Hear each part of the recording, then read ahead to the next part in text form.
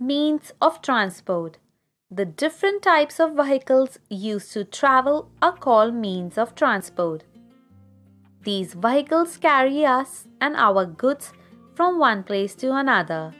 The same means of transport cannot be used to go to all places. We choose a vehicle according to the distance of the place and time taken. Let us study about various means of transport. Road transport.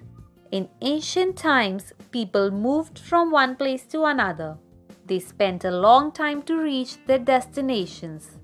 Later, they began to travel using donkeys, horses, bulls, camels, and elephants. As time passed, they began to use bullock carts and horse carriages. These days, different vehicles such as scooters, cars, motorcycles, buses, and trucks are used to travel on land. Some vehicles, such as cycle and rickshaw, have no engines. Rail transport.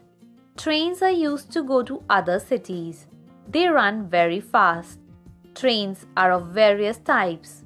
There are passenger trains and goods trains. Many other kinds of trains, such as tram, metro, and monorail are used in some big cities of our country. Trams run in Kolkata. Metro trains run in Delhi, Mumbai, and Kolkata. Monorails run in Mumbai. Trams run on rails along the streets of a town. Metro is an underground train system. Monorail is a railway system in which a train travels along a track having a single rail. Water transport. Water transport is a cheap means of transport. Traveling by sea takes a long time. Goods that are bulky and heavy are generally transported by sea.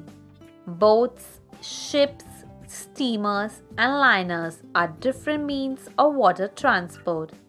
A ship is a large vehicle that carries people or goods by sea. A boat is smaller. A boat is smaller than a ship. It is generally used in rivers. Steamer is a boat or ship driven by steam. A large passenger ship is called liner. A port is a place where goods are loaded and unloaded. Air transport. The fastest means of transport is the air transport. It can take us from one corner of the world to another within a few hours. Aeroplanes, helicopters, jets, and gliders are the different means of air transport. Hundreds of passengers and heavy goods are carried by large aeroplanes.